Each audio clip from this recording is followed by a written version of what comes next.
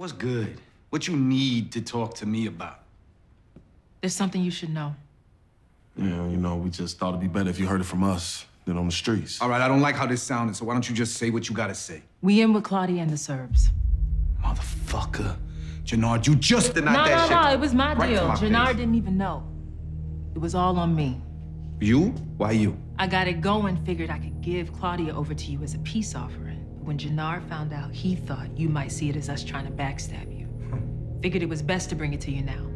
We want to work with you. I'll cut the bitch loose. No, keep working with both of them. Just let me know everything that Claudia is doing. I'll be straight with you. All right, then.